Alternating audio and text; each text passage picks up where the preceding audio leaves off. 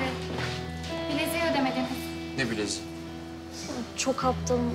Ben denerken unutmuşum. Özür dilerim. Onur kusura bakmayın. Ha, olur öyle şeyler ya. Hadi sen. Kadın inanmadı. Rezil oldu. Ya takma kafana hadi. Seansa ruhsaydı da bir sinemaya gitseydik. Süper.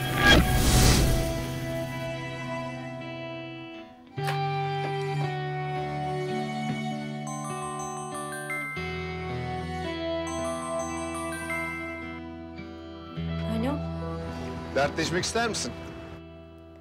Dertleşmek istediğimi nereden çıkardın? O zaman beni dinlersin. Neredesin? Tekneye taşındım. Bir süre burada yaşayacağım. Aa niye? Gel de anlatayım. Bir şeyler yeriz. Şansımız olursa yıldızları izleriz birlikte. Tamam geliyorum. Harika. Sizin kıyıya yanaşıyorum o zaman birazdan. Tamam oldu görüşürüz.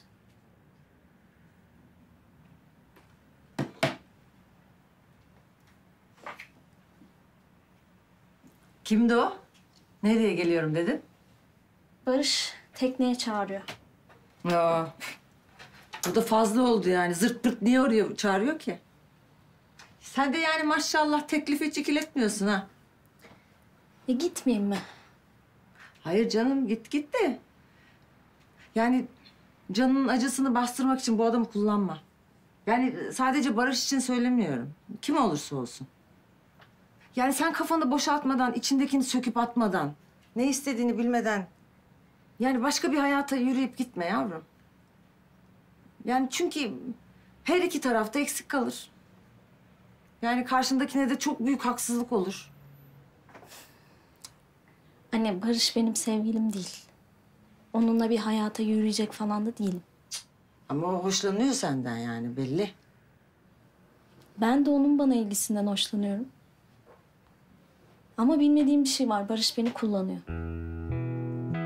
Yani tam da senin dediğin gibi ben onun acısını hafifletmek için sürekli yanında istediği bir şeyim. Kimse kimseye haksızlık etmiyor yani. Şartlar eşit merak etme. Diyorsun. E öyle. O zaman sen kendini kolla. Acı çektirme kendine, değil mi Cemre? Yok barışmış bilmem neymiş bunlar beni ilgilendirmiyor ki. Ben seni bilirim bir tek. Sen iyi ol, mutlu ol isterim. Benim bir tanecik kızım var, başka kimse yok ki.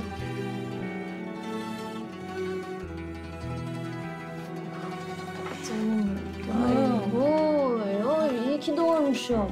Yürü git, o benim lafım bir kere. Maskara o. Hadi giyin.